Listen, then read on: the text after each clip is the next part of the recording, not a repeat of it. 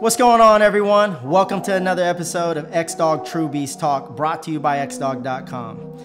And today we're going to talk about this whole situation of COVID 19.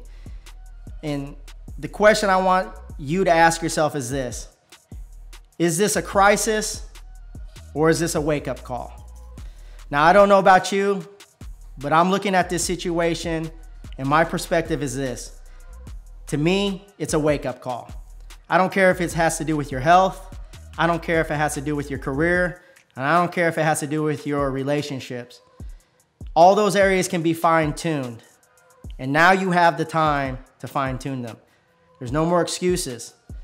You may be quarantined at home. You may not know if your career is gonna last, if your if your company is even gonna exist after this is all said and done. Um, so this is a time right now to really take a strong look in the mirror and ask yourself this question. Am I going to treat this situation as a crisis or am I going to treat it as a wake up call?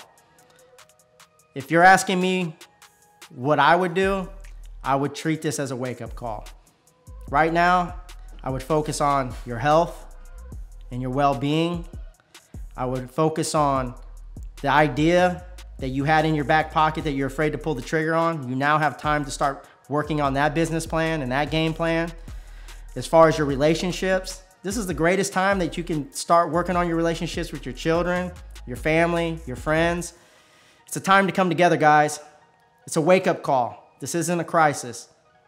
It's time to become more aware and actually sit back, take a breath, and say, it's time to fine tune my life. Thank you guys for tuning in, man. Y'all stay tuned for more True Beast talk as we're gonna get in depth about how you can actually fine tune your life. And we're gonna give you some valuable tips on how to actually do that.